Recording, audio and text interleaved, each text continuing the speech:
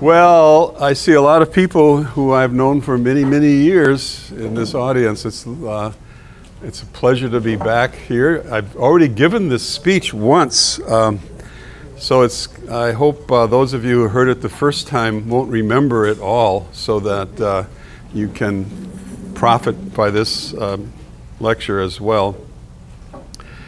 I don't quite know why um, I have been blessed with Ed Johnson. Um, he was a student at Macalester and, and one of my students. And uh, usually these students graduate and leave the country. But Ed graduated and moved to West 7th. So uh, he and I have had a long, long, long uh, relationship with each other. And uh, it's that relationship that's brought me here tonight. The goal of my talking uh, tonight is really to try to summarize and encapsulate the sort of thing that it's possible to happen in a city. I have, as you heard, I've, I've traveled a lot, visited a lot of cities, talked to a lot of urban planners, and tried to understand the, the dynamics that shape contemporary uh, cities uh, in the mid latitudes. I, have not studied tropical cities. And many of them, I'm sure you've all been to these places, have become hollowed out. The, uh, the notion that the central business district and inner neighborhoods were dynamic engines of urban growth, and the growth in the center pushed urbanization out to the fringe, was the dominant thought in the United States and around the world for, for most of the 20th century. But now we see places like Chicago or St. Louis or Cleveland or Toledo or Pittsburgh or Newark, Chicago, Kansas City, that have huge empty areas in their centers. We don't. And I have been trying to find an explanation for why, so far anyway, uh, St. Paul and our our neighbor to the west have been able to maintain a uh, community that is still actually growing but uh, stable and, and, growing. So I'm going to talk tonight about the concept of progress and the question of who's benefiting from progress and how do we think about individuals working together in um, informal or semi-formal or grassroots organizations, and what role do they have in the shaping of the urban future of the United States? All right, I am from the college, so I have to start here on an academic note, going back to the Reformation. But since the Reformation, the, the major motif in Western European culture and North American culture is this concept of progress that things are always supposed to get better. And we work toward that constant improving and the, you know, the assumption that you know, progress will solve all the current problems if we just continue to work forward. And it's certainly been a major theme in our state. This is, of course, the quadriga from the south facade of the state capitol. The title of this statue is Progress of the State. And the horses are earth, fire, wind, and water. And they pull the chariot with civilization, the female figure, and prosperity, the male figure, forward into the future. Now, you can think of this as the frontier mentality. All kinds of terms have been placed on this, but it's really deeper than just the American frontier. It's this concept that we are moving towards something in the future, and that new is good, and frequently old is to be discarded or at least greatly modified. Well, when I think about progress, the first thing that pops up in my, in my mind is who is getting the benefit from progress. Progress for who? And we've got these dy uh, dynamic tensions between parts of the city. the community, the residential community versus the downtown commercial and industrial interest, inner cities versus suburbs, landowners versus tenants, wealthy versus low income, and old residents versus immigrants. Now, these are not always in direct conflict with each other. They don't necessarily mean they're fighting with each other, but sometimes progress for the suburbs means problem for the inner city. Now, we were built, this city, I should say, was built very quickly. And it was built on the backbone of the streetcar developers, the real estate giants, Lowry and his associates, Minaj and others, King, who saw the city as a giant real estate development scheme. And the streetcar system was their loss leader that made their land accessible to places for employment. And so, by building out the streetcar system, they brought progress to the city, the modern technology. But of course, that modern technology accrued great benefits for them and maybe not so many benefits for other people. The dominant thinking about industrial cities is summarized in this model of urban growth, sometimes called the Chicago School of Urban Sociology. But it's basically this notion I, I touched on earlier, where you have the downtown, the loop in this case, because it's done in Chicago, so they use Chicago's terminology. So the growth in the inner ring pushes on the second ring, the second ring then loses functions, loses space to the first ring, it expands into the third ring, and the third ring into the fourth, and the fourth into the fifth. An evolutionary model. Like humans evolved and got superior to all the animals. That concept of evolution and progress was taken right into urban thought, and this model developed sometimes called the invasion and succession model. So this group controls the destiny of everybody else by pushing outward from the center.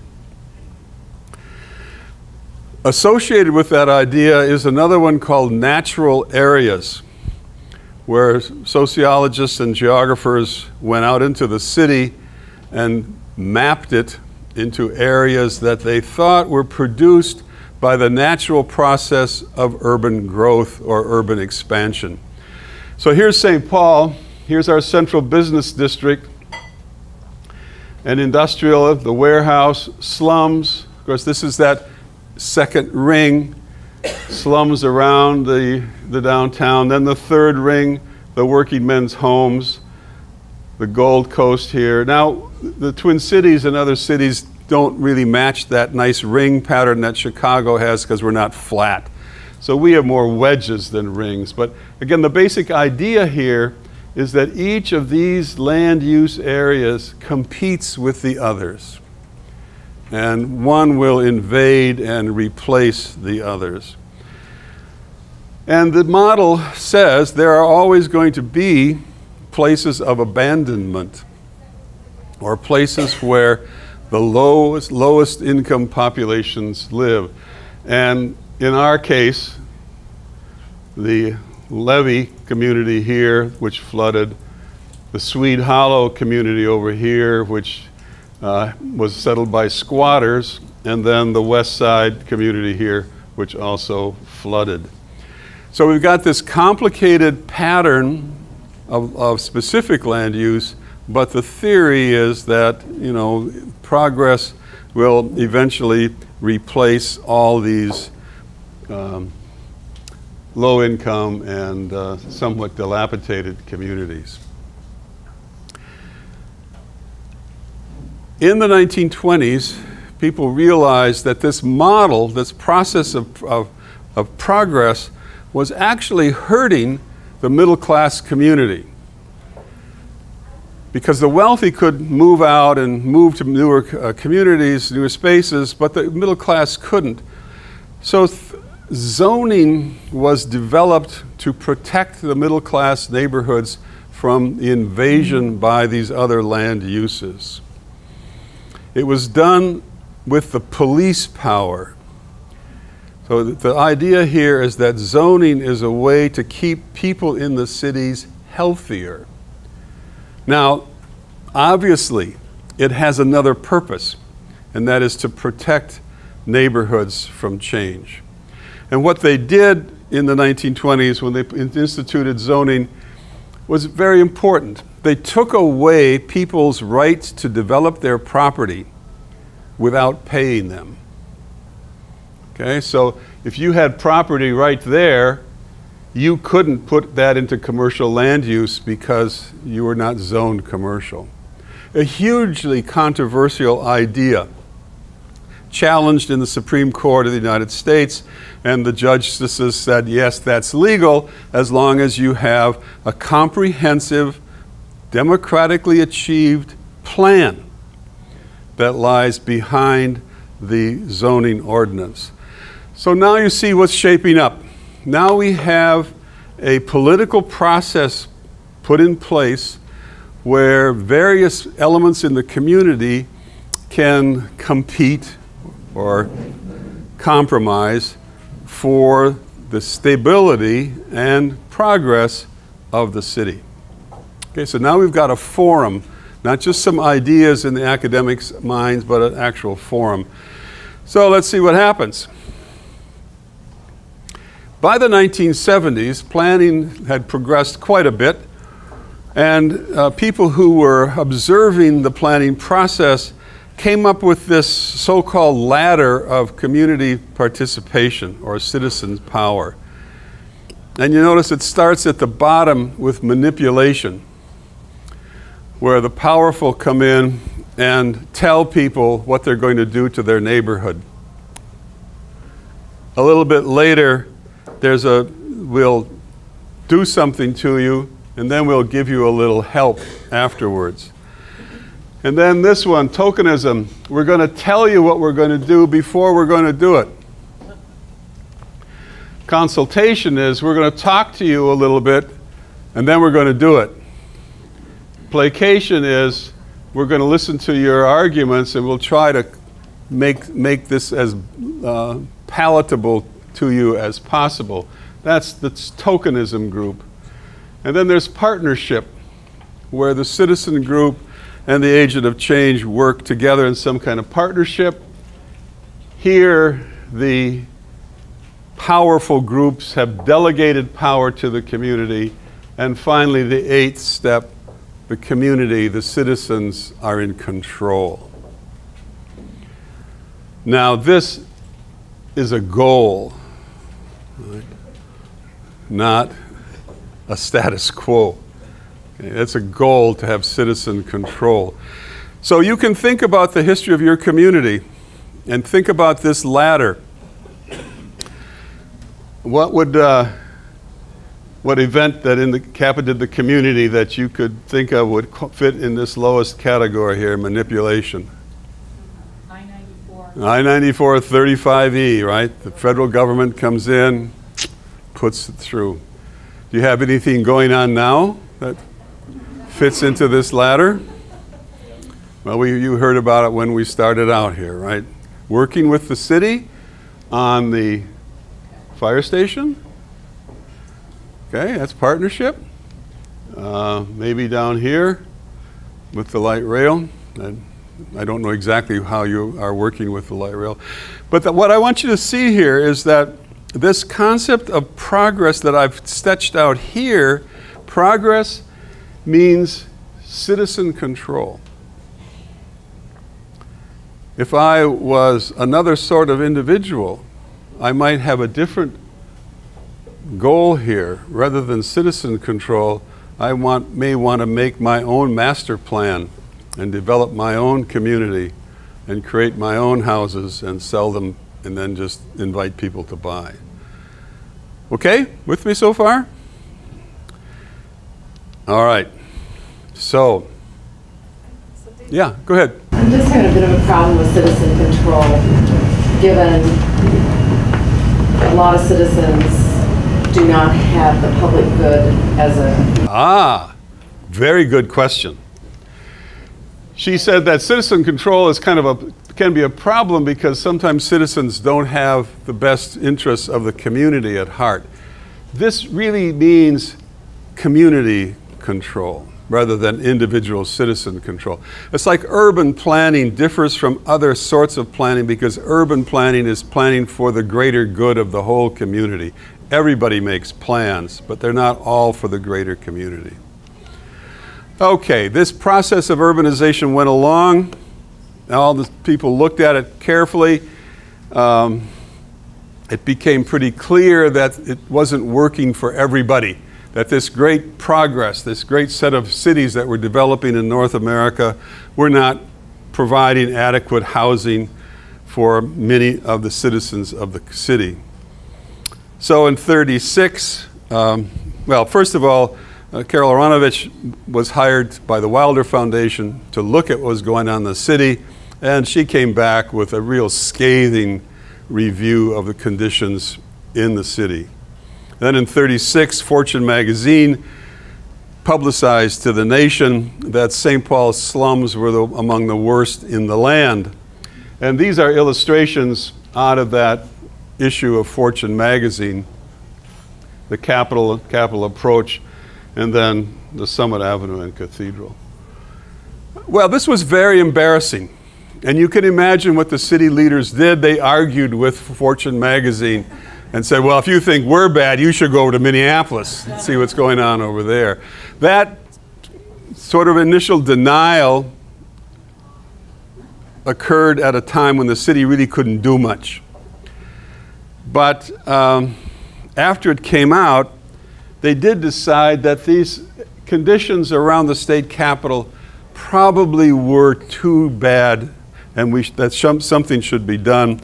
And so they recommended that that area be cleared, but then, of course, the war came and not much could happen. So here's a nice old air photo of, this, of the inner city of St. Paul. Here's the Capitol. Been some clearing now, see, for the Capitol approach in here, but it hadn't been finished. Here's the cathedral down here. And again, you see how tightly everything is built up, with the exception of the hill here the old, this is the old science museum here, Merriam's mansion. So that, that was a continuation of Summit Avenue that kind of ran like that. Here's the market over here, some other, these loft buildings and churches and so on. Here's Landmark Center down here in the St. Paul Auditorium. Uh, the academics nicknamed this era the brown decades. People were burning coal, there's a lot of pollution in the air, and it was a difficult time to be around. And progress meant something different. So let's start to clear away that low income area around the Capitol, those uh, cold water flats, single room occupancy places, tear it all down and put it into grass. Progress. What happened to those people who were living there? They were rehoused in the private slums elsewhere. Okay?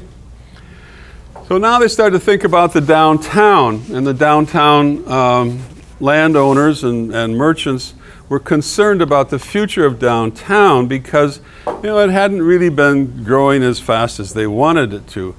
So they hired one of the geniuses of American culture, Raymond Loewy, the guy who invented all this sort of design, invented the streamlined locomotive. And remember these cars? Studebaker, these fabulous cars, but invented that notion of streamlining the Zippo lighter, all these things. So he decided to take on cities. And his plan was to make the city beautiful, lay it out nicely so you could easily find your way around, put in some new facilities, a convention hotel, parking garages, skyways, and a big multi-story apartment unit on Kellogg. And then go in and give all those old buildings a facelift. Progress for the downtown community. So here's the old Emporium. And there it is after Loewy got finished with it. See, what he did was just come in and put a facade around it, and the assumption was that would solve the problems of the inner city. After that happened, the move out to the neighborhoods. Okay, we got the capital cleaned up. We've got the downtown spiffed up. We're not to- totally spiffed up, but we're working on it. Let's go out to the neighborhoods and let's clear cut. So, this whole area in here, now called the Rondo neighborhood, cleared away to make way for the freeway and also to rehouse the population that was there. Okay? As I've indicated here, it was a test for the powers of preservation versus modern progress. Okay. Yeah, John. Was, was there ever any discussion at that time about locating 94 back on the parallel with the railroad track? Yes, lots of discussion. The, the city planner, a guy named George Herrold, absolutely went berserk about this plan and argued and argued and argued that it should go north of the Capitol and there should not be this barrier between the cathedral, I mean the Capitol and the downtown. But he was totally overruled by the federal highway construction. So we've got that same ladder of participation here, but now it's kind of jacked up a little bit. Progress for who? Progress for people moving long distances and, and the commuters. So, David, were there any civic leaders that bought into that argument, or was it just kind of a hollow, uh, you know, just kind of a fruitless uh, pursuit with the Fed? With Herrold? Yeah, it was, it was a, a fruitless pursuit with the feds. They were going on models that had the lowest cost possible, and the and the so-called most direct route. But those of us who have driven 94 know that you can't drive freeway speeds on 94 because of all those curves that they had to put in it to get it through this little narrow area here. But the city council embraced this plan wholeheartedly. Now, uh, to shift a little bit, in addition to these houses that were issues, there were the old commercial strips. And that this clearing here displaced hundreds and hundreds of African American families. They asked that they be allowed to stay in their houses as long as possible. They asked for a fair price for their property. They asked that the freeway be depressed as it went through the neighborhood. And they asked for an open housing law. The city said, yes, you can stay in the houses as long as until we're ready to tear them down. We'll give you market rate. We're not going to depress it.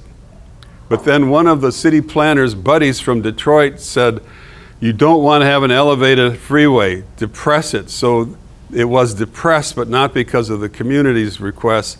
And the city council refused in public debate to have an open housing law. Now, the result then was the limited option for the African American population the crowding into the neighborhood that was already there. And across the country, these crowded African American communities rose up in the 1960s and vented their anger not at the city government, not at the federal government, but at the merchants in their neighborhood. And so they attacked the commercial strips. And people left as fast as they could, the so called white flight. So we have clearing, we have some violence, we have abandoned buildings, and we have people leaving. So I've got some numbers here. You can read them. Clearing was active to get rid of the abandoned, vacant, and abandoned houses. But we have to remember that progress for he in this area was not affecting the African American community. It was progress for other folks, and they were paying the cost. So you see that decline in the Hill District's population. The city lost 1%, but the Hill District lost 15% of its population. Now, other things are working. The state decided that it was going to close down the large mental health hospitals in the rural parts of the state and implement something called community treatment facilities, where houses would be set up in the communities. Patients would come in, live in a community, and get the support from the area around it. Well, those entrepreneurs needed big properties. Big properties were located in the inner city. So they moved into these older neighborhoods to buy the cheap houses and set up halfway houses or community treatment facilities. In this one, this is Jacobson's Jacobson House. These three structures were all painted this yellow color, and they were essentially a little campus for uh, patients needing mental assistance. In violation of the concept of community treatment facilities. So eventually the city was able, and the state was able to pass a law spacing these functions out in a neighborhood. And then start in this bigger process of what are we going to do about this hole we've made in the city? We've cleared this all out. What will go into it? And interesting discussions were had about preservation, rehabilitation versus new construction. And the city came up with a multiple prong strategy new construction in here and historic preservation down in here. These commercial strips are problematic. They had a really important function during the streetcar era. With the change to automotive transportation, their logic disappeared and the people who needed accessibility moved out of the community. And this old pattern of uh, commercial strips, like this one, nice built up here, this is your, your street, um, with people walking to places to shop and uh, eat in restaurants and so on, and services on the street. That changed. And I want you to see the two pictures here. The busy storefront here, lots of entrances, lots of windows, lots of ways in and out, versus this. These folks didn't have to be on the street. The street, they were there because it was inexpensive places. So they were serving the community rather than the local neighborhood, and you got a different sort of street uh, scape, a different sort of image for their community. So people moved out, um, land use changed, and the future of the streets became a big question. Okay, it's the early 1970s, 50 years ago. A huge change, a huge change hit the U.S. culture. The Vietnam War was winding down. People were concerned about healing the wounds of the Vietnam era, trying to find something to pull the Americans together. The Bicentennial Commission or uh, celebration was coming, and bicentennial commissions were set up across the country. And historic preservation was seized as a strategy not only to preserve pieces of the urban landscape, promote investment in the city, but also give this, the country something positive.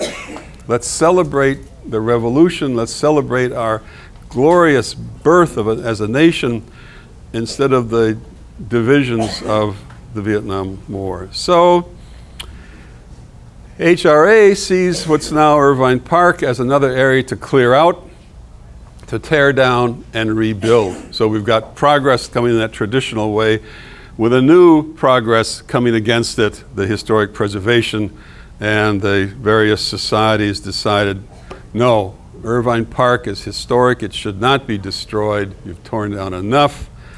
We want it made into a, a historic district. Well, they had this battle, and the result was the federal government stopped the funds that were, were earmarked for renewal here until something, some kind of compromise, some kind of strategy could be worked out.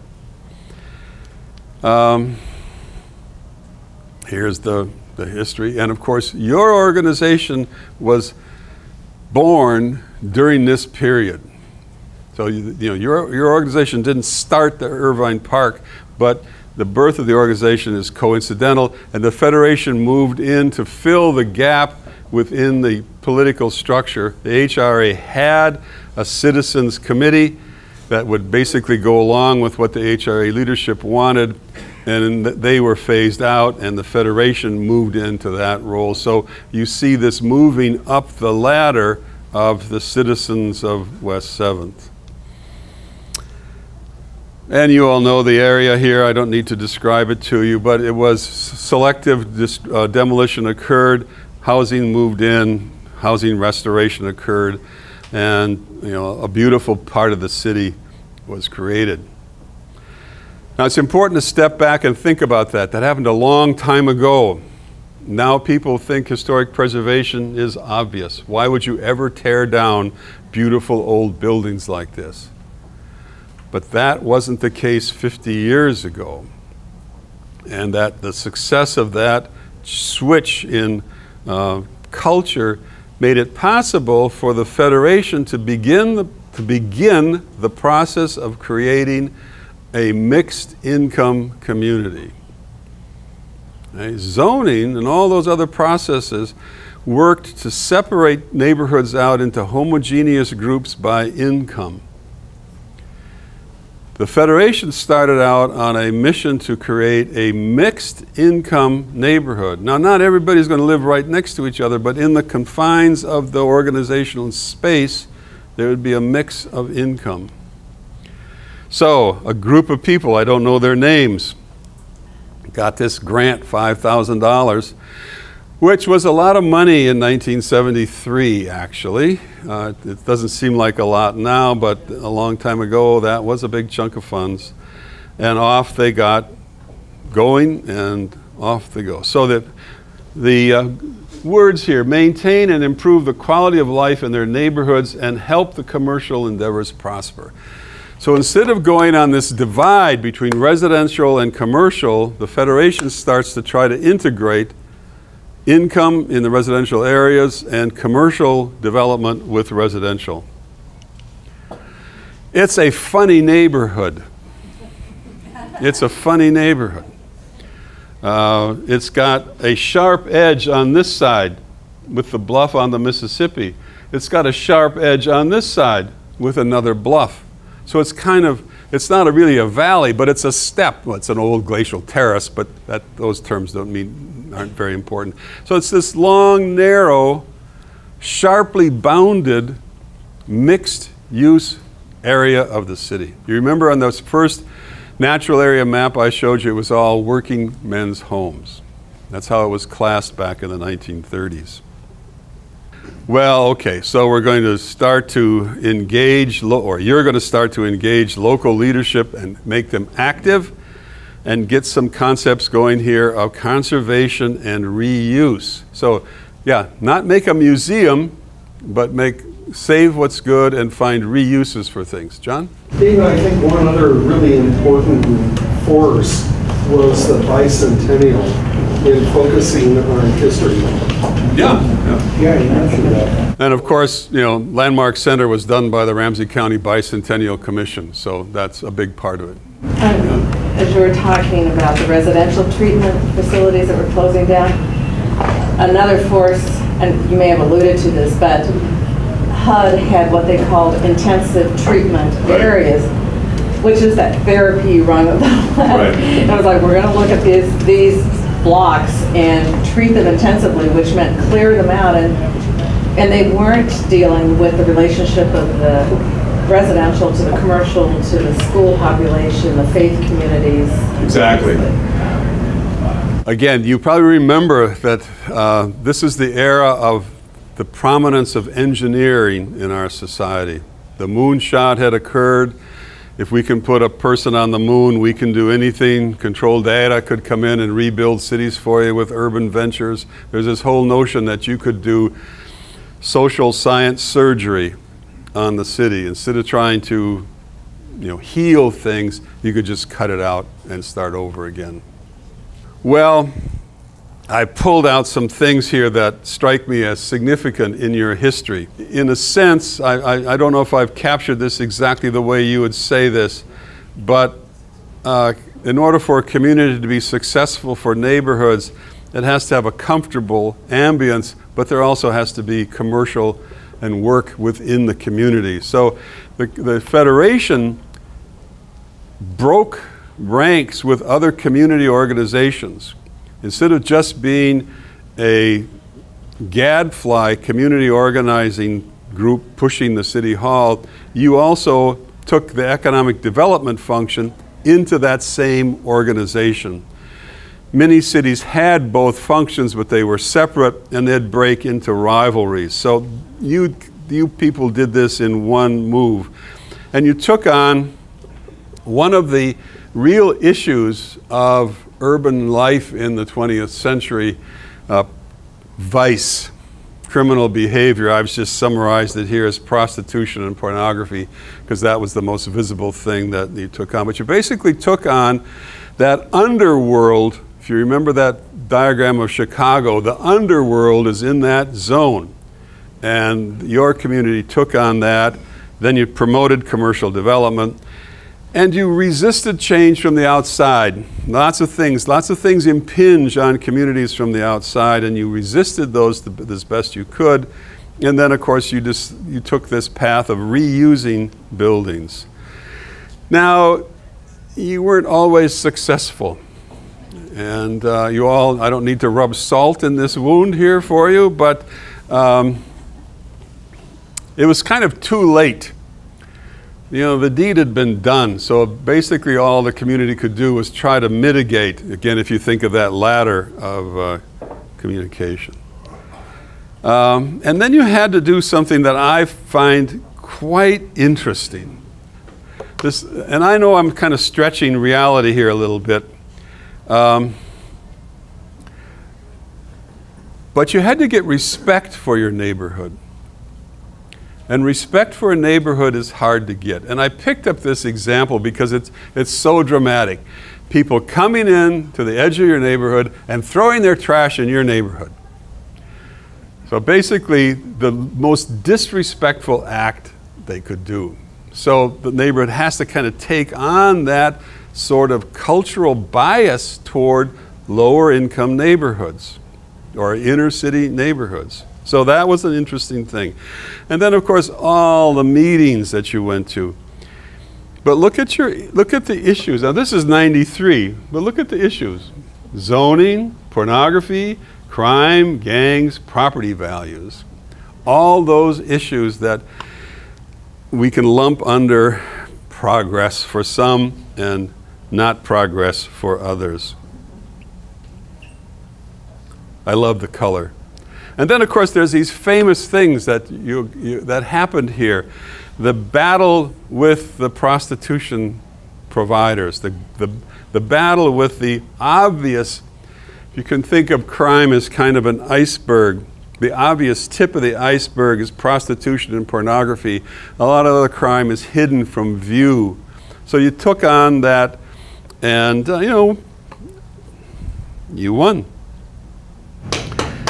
And, and what this, this was, of course, people took some, paid the price for this, but what you did was push the community, you pushed back against an outside force, so progress for you, and you pushed on the city to make it work for you. And again, you know this story, I don't need to tell it to you in, in great detail, but it is, um, looking back at it, it's not without humor.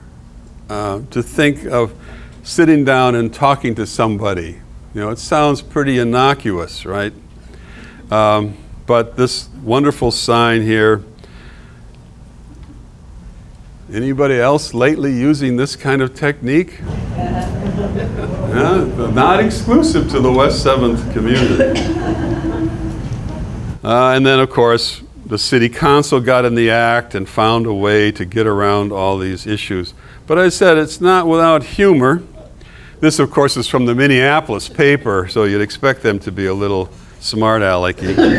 um, but anyway, it says, if, if you can't read it, before I get into all that, I, you'll have to know a little about what makes a man go into the sheet metal business to begin with. And I love the way Gwendon has drawn these women. they're so bored with it all. I don't know that they actually, you know, were that, looked like this, but I just, um, anyway, there are the rates, half hour. But the important thing is that that was a very visible guerrilla warfare, so to speak, but it came uh, with some resistance. And I'll, I'll read this uh, to you because I know you can't read it. Uh, this is about relocating. This is an old match, an old problem here where Ed and Dave uh, got into an argument about relocating Blazel's bar. And uh, so they give you all the things that uh, indicate that he, um, you know, he says he runs a dirty strip show. But then they counter that argument with, he is a great man. He was a pro football player, lost his eye sight helping a lady, uh, gave his going business of 30 years, and so he could build a trade, so he could be the trade. So, kind of arguing with this. And then he gets on about Carlone. So Ed and Dave are kind of criticizing Carlone. So he says uh, Mr. Pe- Carlone and his family could hold a liquor license. They said he had a dope pusher and everything else. Well, the argument then. Uh, Carlone's family have been living on the West 7th for 85 years. They won a medal in boxing in St. Paul, a medal in boxing in the 5th Army, a medal in weightlifting, and 20 years ago, Carlone was in jail for six months. Big deal. and then they're great people. Now, as you know, these processes in neighborhoods are personal. You know, it's not just arguing with some candidate running for office, it's somebody down the street. and of course, you didn't know this, or you may have forgotten that Dave and Ed were run out of their hometown. They've been here for less than 10 years. They dodged the draft. $80,000 of a year. They want credit for closing Raquel's rap. They have credit for all the rapes in St. Paul. Pretty vicious statement, libelous statement, all that sort of thing. But again, the point here is that in order to have a successful community, there are very tough fights that have to be won. Uh, we'll go on and on about this. Um, I, this is too good to pass up. so, anyways, going on here about money available and com- commercial business owners getting you're getting new sidewalks and trees and lights and the iron fence. At the same time, taxpayers go without food and warm shelter. Think, Jesus Christ was born in the major because the leaders were MFs. Now, you know what MF means if you're an MF. But down here it means misfits. It doesn't really mean what you think it means. Okay. So then comes the more gentle fighting about the future of buildings and whose vision of the city will prevail. Uh, the plan here was to tear this down and the grocery store next to it and, and build a strip mall, a nice efficient thing. And again, the same kind of fight going on. Can you find a reuse for this building?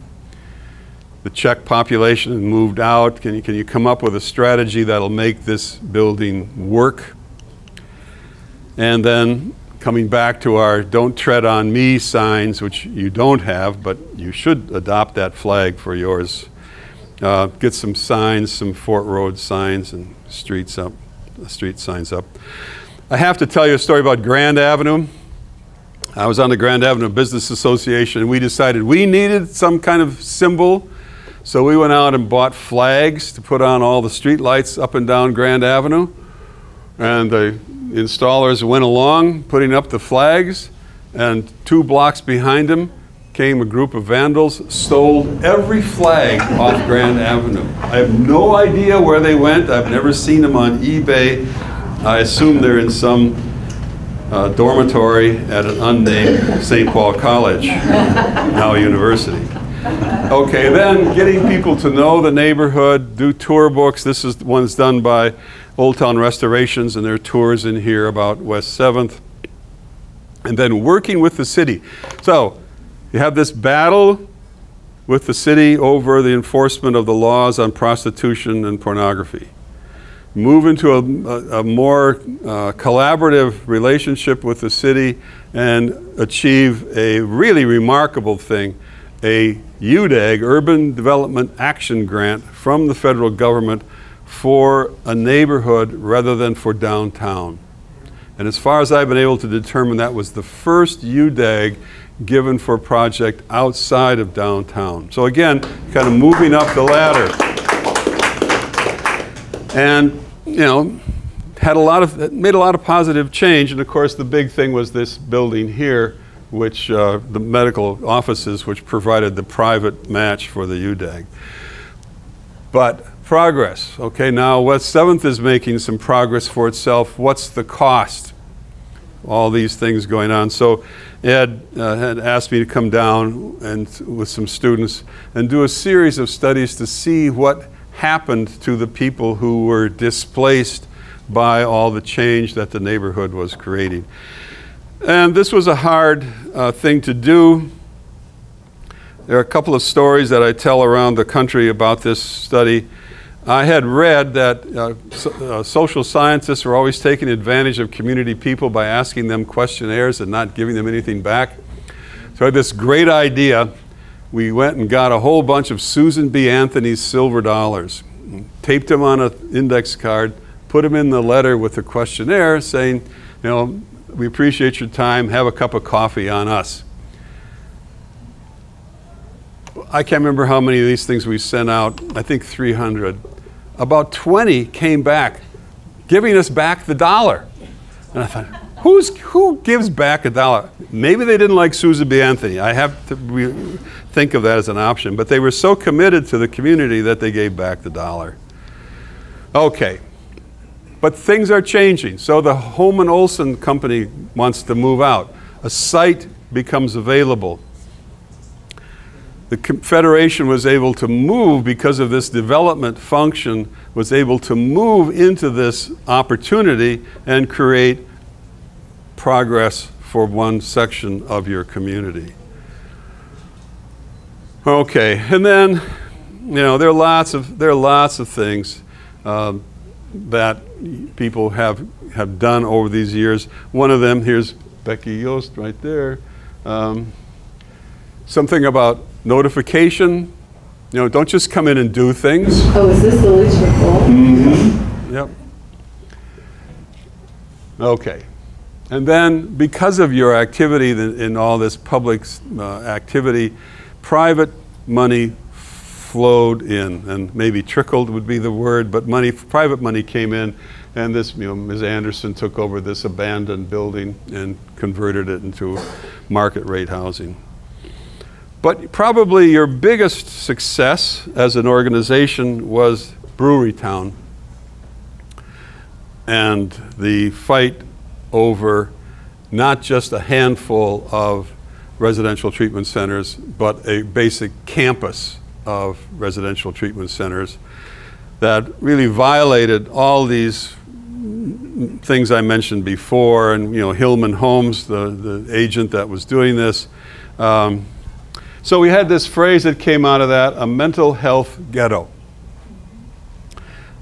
Basically, that's what it was packing people into a neighborhood, small neighborhood, with deteriorating housing. So, and again, spirit of the law, and eventually you were able to get that license. So the city, the county commissioners did not send people to this operation. Okay? Lots to say here, but we don't have all week. Then came not just throwing people out, but rebuilding the community, going into that Brewerytown neighborhood and create affordable housing for uh, lower income properties. And, you know, all kinds of things. Some houses were torn down, houses were moved around, houses were restored, and new housing was constructed.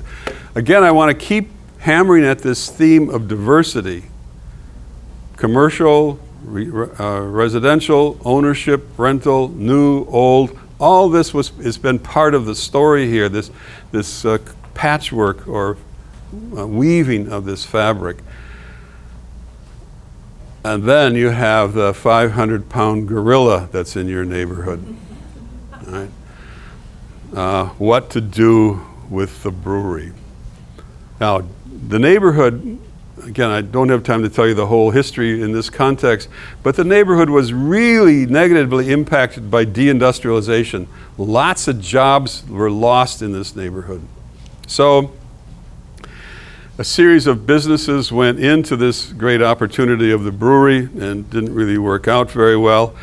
And here's a picture of Ed just after he graduated from Macalester, Well, 20 years after he graduated from Macalester. But look, is this the Ed you know? Look at that dude, his tie and jacket on. Look at that. Anyway, you know, everybody knew that the brewery was either a great opportunity or an anchor that's going to pull the community down. I don't know if any of you have ever been to Detroit, but Detroit leadership did not tear down the automotive factories. So the Packard factory closed in 1953. A mile long building stood vacant for 50 years. Huge blight on the region around it. So the question is what's going to happen? How, how can you get it you grasp at some straws here. I really don't think people want to drink organic water, uh, but if it sells, uh, who am I to say, right? But there's no such thing as organic water. Okay, so big plans for the big opportunity here. And fortunately, after going through several false starts, again, a partnership was created between the Federation the city government and the private development sector and funding from a whole range of sources. So a solution was found, and I want to remind you of the other brewery in town in a neighborhood with a similar history that has a very different impact on its neighborhood. And I've never been in there, but I, there's a nice picture anyway and then building some new housing, new construction around it. Again, I want to keep hammering this point new and old, new and old, new and old. And then in the 2000, the little Bohemia, the same kind of project, the same kind of problem, somebody from the outside coming in, becoming a, uh, a slum landlord, tinkering with the zoning law to uh, enable a higher population density to be put in the houses. Higher population density increases the wear and tear in the house, deterioration and that downward spiral that we see so often. So the Federation said, We'll buy them all from you. And the guy said, No. Um, and then a few years later, everything was foreclosed. So the Federation got a bunch. And again, you look at this, you look at these numbers, and you know they're just numbers on a picture, but you you know the neighborhood. You think 40 vacant houses in a small neighborhood. That's a huge, huge thing. And a million dollars you know, is a million dollars, but um, it's not that much money when you think of the city as a whole. And again, the Federation listened to the community instead of you know, just clearing everything out went into this mixture. And again, I, I think these have all been sold now. And here's one picture to show you that it really is winter occasionally in West 7th. It's not always springtime here. Um, okay, so you have this thing. You've created a sense of place through a variety of ways. You've created a community spirit and the organization. And that's, that's the foundation the houses, the streets, all that sort of stuff is the result of having this organization and having a community spirit. So it's really people. I have showed you very few pictures of people, but it's really the residents of the area that work. Now, I'm going to give you some heavy duty urban geography, so sit back, relax. So we've looked for years to try to find a simple way to take the temperature of a city.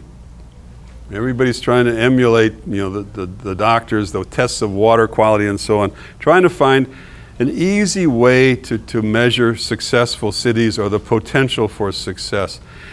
The problem is there are lots of dimensions to a success, economic and social, as indicated here.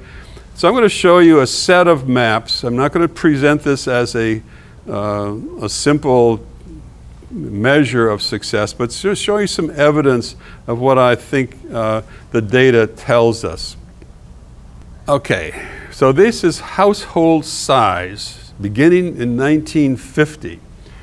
So this household size is between 2.7 and 3.6. Don't ask me why they got these numbers, but um, anyway, between 3 and 4, and then 2.1 to 2.6 and below 2. So the darker the larger, the lighter the smaller. So you can see in 1950, the, the neighbor, I'm going to switch to the bigger one, the neighborhood is rather homogeneous. Large households, larger households. Then some change starts to occur at the edge of the central business district. And the families have decided this probably isn't the great place. And then that expands down West 7th. And then by 1980, there isn't any area that's got the large house size, household size anymore. And then when we come all the way up to 2010, the whole area is down below two, except this one set of block groups in the middle. Wow. That's a big change. Okay? Big change in the average household size. But David, it's happening nationally too. Yep. So is, I mean, it seems like it's just being pushed out in those rings, suburban. That's exactly what's happened. This is the, this is the evidence for the expanding ring out, and household size across the country has declined everywhere except in new immigrant communities. Okay, so now we've got children. So this is just another way to look at household size. Now we don't have a number here. This, this map intrigues me because there are more children closer in in 1960 than further out. And then that switched and goes the way. And I don't know the answer to that. I haven't really, there's no way I can find out what happened, why, those, why that pattern of movement occurred. But again, you see the general pattern fewer children. So you've got singles living by themselves and couples with no children, or couples with one child. So you've got that, all that thing. Young people coming in without children, older people whose children have left, older people moving into to senior housing without children. So you got all kinds of dynamics here working on the children. And then you look at young people, people under five. It's basically the same pattern with some, with some twists in it. Now, without kids, the rationale for schools goes away. Now, this is a problem for communities because we built in the 1920s a model of cities based on neighborhoods anchored by the neighborhood school. So, when the neighborhood school goes away, there's that community center function that also leaves, and that's, that's a big issue. Yeah. It, it, it seemed to me that uh, some of these changes uh, corresponded or, or uh, occurred at the same time that about 15, 17 percent of population was lost at 35E. Uh, yes, some of it does, for sure. For sure. And there was an amplifying effect. That's particularly up here, I think. That narrow zone of the freeway pretty much cleared away. Okay, you don't, you don't see that as a big deal, I think. Uh, no, I think it's part of the story, but there's also the shifts in, in culture. So you've got people leaving, but then you, the people who stay have changed as well. And then elderly. Now, this one, the elderly map is complicated because it reflects buildings. So people, developers came in, constructed housing for the elderly, brought elderly in and packed them. uh, That's not the right word. Concentrated them in a few locations. So again, we got this interesting pattern here. But again, it's kind of counterintuitive because you have an increase in elderly and you know also in well it's just it's very complicated but it, the pattern isn't simple it keeps breaking apart And again, I'm pretty confident that this is because of the various developments that have been put in place rather than a general trend. Becky, do you have your hand? Well, just, that's a strict population, that's not households with an elderly person. Yeah, yeah. Okay, here's what you're all interested in. Have we achieved a mixed income neighborhood? Okay, so we start out here. These are dollars are all the same. These are 2015 dollars. Okay, so it's a constant measure across time. And as you would expect, looking back 50 years, 60 years, uh, the income pattern is going to be different. But I don't want you to look so much at that, but how the pattern within the neighborhood shifts and how the neighborhood begins to increase in income and then decrease in income. The same areas are going up from here to here, and then down, and then up, and then down again. Okay, this is good because it shows that there's competition for properties and people are coming in and moving in. But as you can see, your, your, your media, the overall, the income has gone up about, what, 10, 12%. Now, you haven't got, I mean, here's the metro median is 68. This is still under the metro median.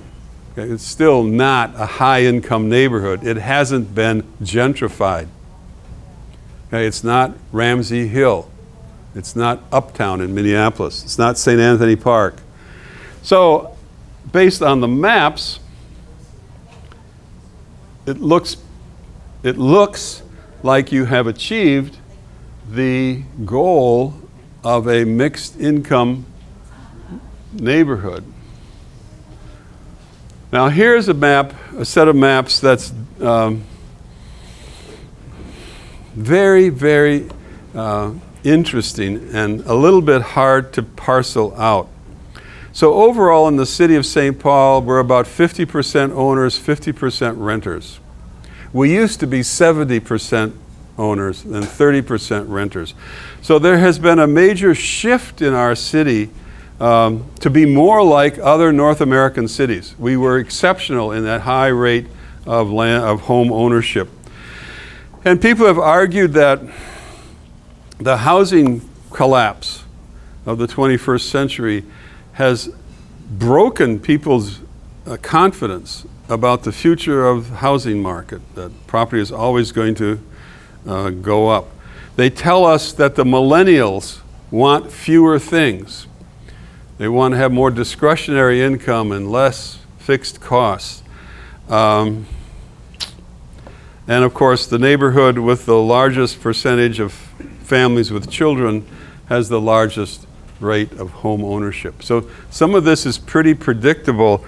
The question is is this millennial population going to continue to rent or will they shift into home ownership? That's a question I don't know. I can't, I can't speculate on that. Um, but you can see um, 62 to 80 percent home ownership at one time in these areas, and it's shifted. Now, again, that reflects building senior housing by Sholom Homes. All these things reflect decisions made by developers in conjunction with, with the power and the leadership.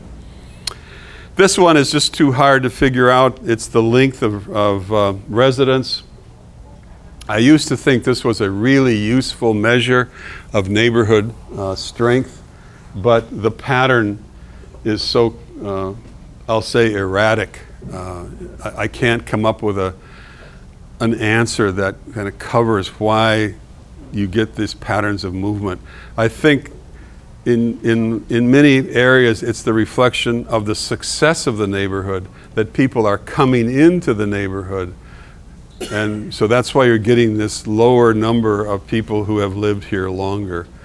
Um, but when we did those displacement studies years ago, I mean, we were running into people who were living in the houses they were born in. And uh, I think that's, you know, that's kind of changed. Okay, so as I've indicated here, uh, you know, there's no simple explanation for what goes on. There's no single cause. But clearly, the economic and demographic data show to me at least that your goal of a mixed income neighborhood is been, has been realized.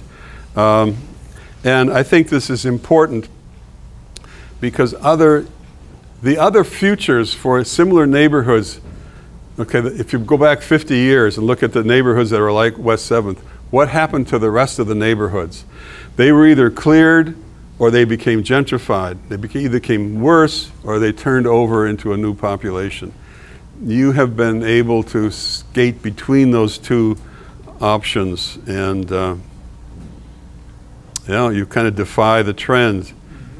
Um, lots of things have been working against you. Um, and you kind of uh, fought back and um, came to some resolutions. But again, what I see as the difference here is this community organization that has been able to be so transformative. Not, and what I mean by that is that the population in the organization has changed. There's, some people have continued, but new people have, have come in. And again, I think you have that unusual ability to go out and develop property as an organization. You don't have to wait for other people to do it for you. So, here's my definition. The community can create its own sense of place. It's not being described as by somebody else. There's lots of options in it. It has access to metro services and opportunities.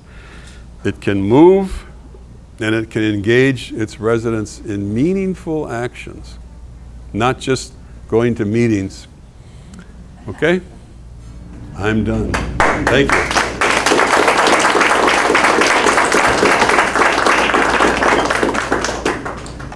Thank you, sir. Everybody looks hot and tired. Can we, questions? Questions?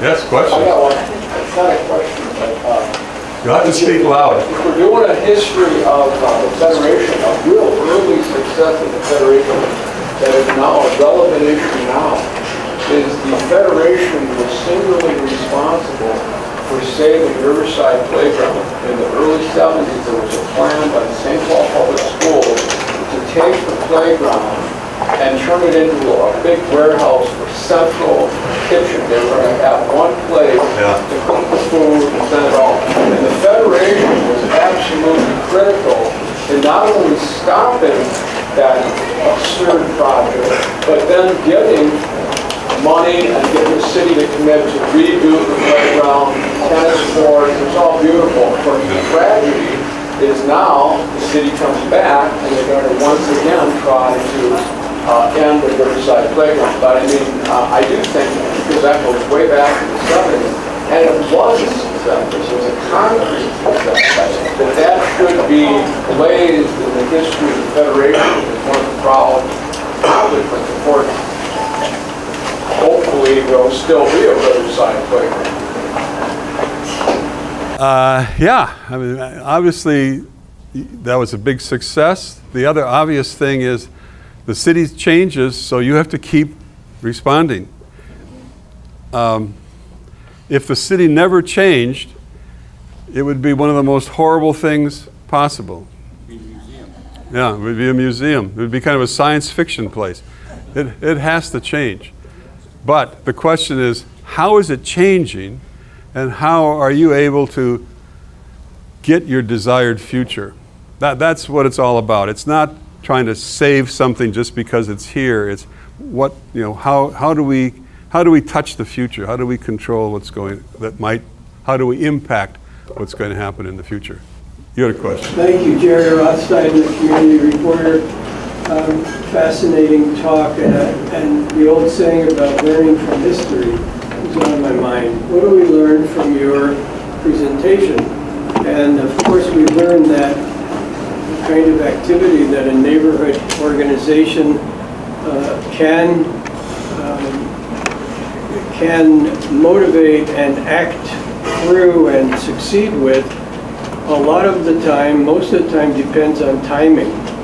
Some of the stories from our past have been, we were behind the curve, some we were on the, on the mark, some we were perhaps a bit ahead of the curve.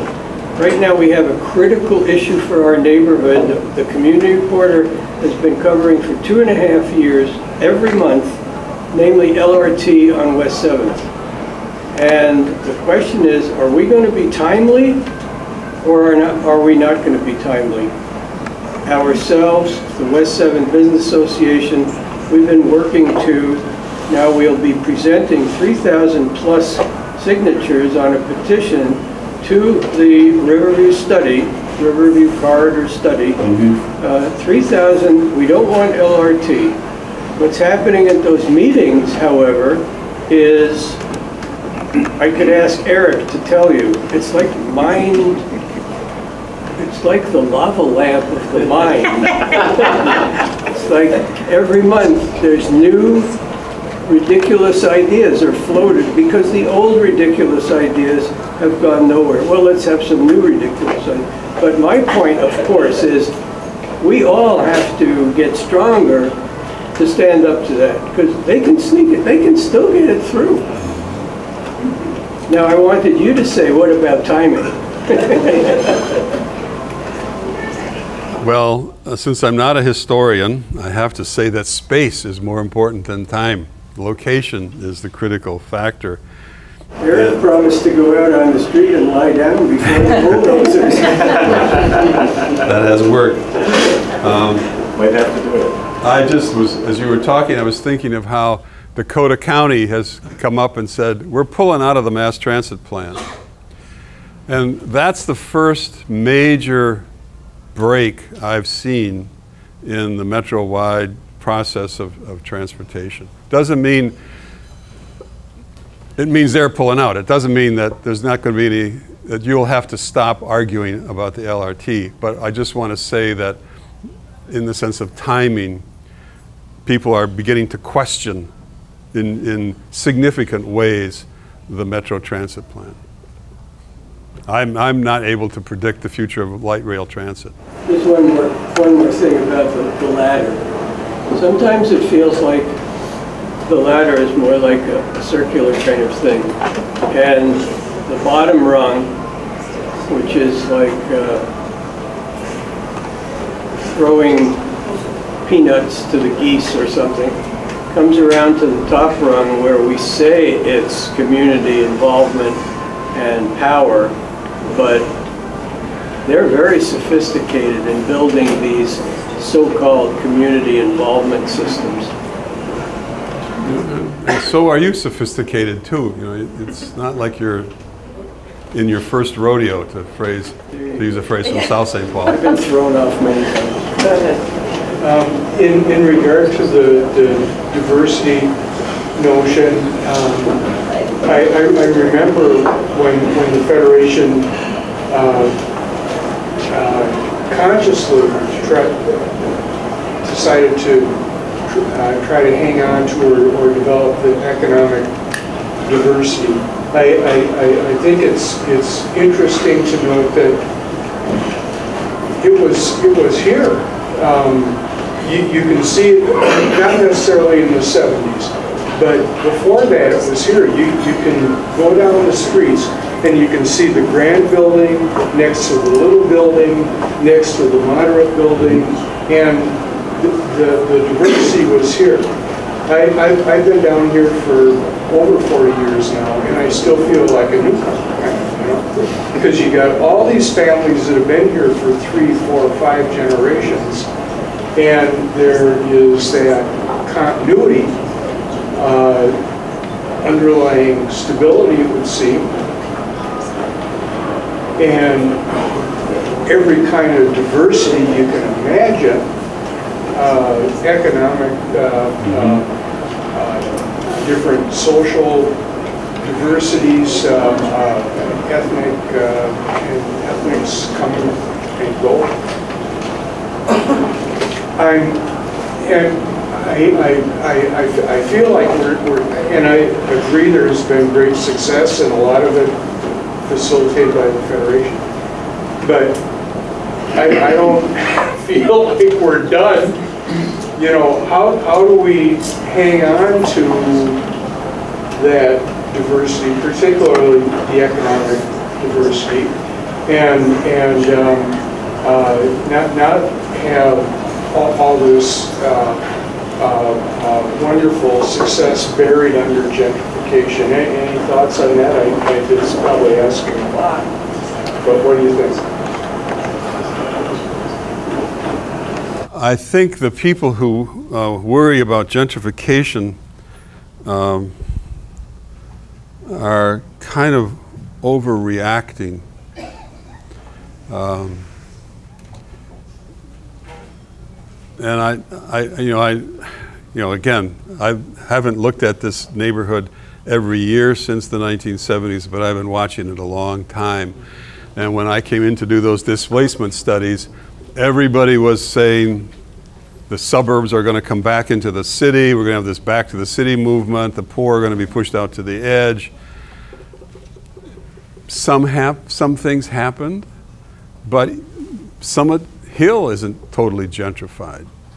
So I, I don't I don't think that that's the kind of of um, tsunami that's going to wash over your neighborhood. I think there'll be places in the neighborhood where people of higher incomes will move in. You, you have a housing stock that's very diverse. And some of those houses, unless they get on the small house program on TV, are not going to attract gentrifiers. They're too small. Um, so that, it, it, you know, because you have had a diverse history, you should have a diverse future, unless you tear it all down and make it homogeneous. So I think the other thing, of course, is you have to be stubborn. You can't give up the fight because, as I said, change is constant. You, you can't stop doing what you're doing.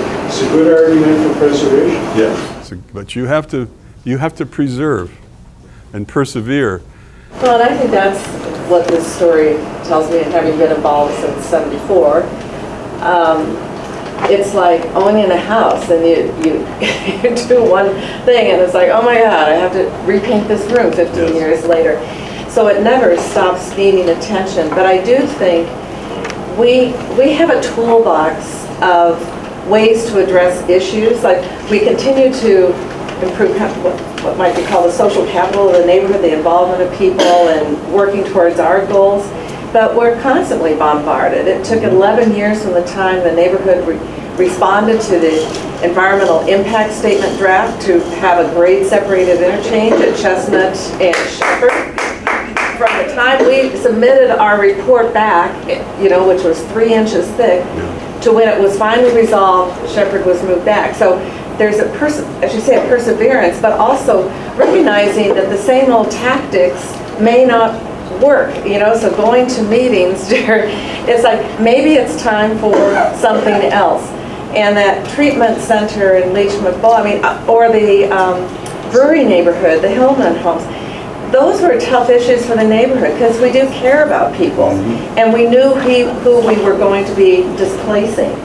And so putting that into context, and um, Hillman was a bit of a different thing, but the Leachman Bowl, I mean, we just identified where all the board of directors of that nonprofit, nonprofit lived, and none of them were in the neighborhood, let alone the city of St. Paul. And it's like, how dare you move um, chronic alcoholics for whom you're not going to provide any treatment program, you know, Right. right in the middle of the neighborhood, or um, picketing Ed Hellfeld's house, the director of the HRA, or working with a senator who wasn't necessarily aligned with some of our political views, Senator Durenberger, so that we didn't have a four-lane high bridge when that got redeveloped.